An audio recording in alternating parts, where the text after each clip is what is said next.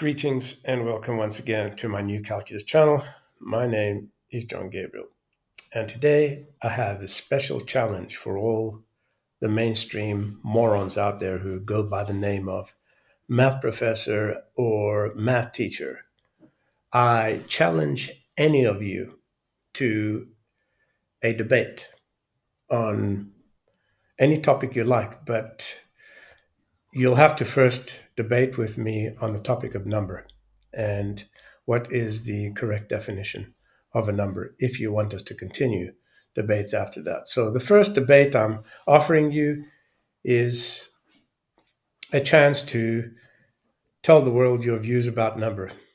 And uh, the only thing that's going to be applicable in this debate is that we're not going to use foul language, but I'm going to be brutal with you. So you need to be prepared. You need to do your homework. If you're interested, you know where to find me. Okay, cowards? Let's see if you're interested in debating me.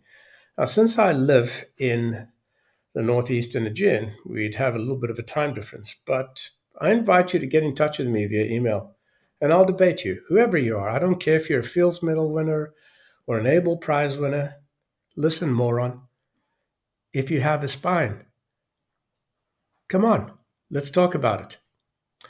Okay, that's pretty much it. I'm John Gabriel. This is New Calculus channel. Click like, subscribe, and follow me on academia.edu.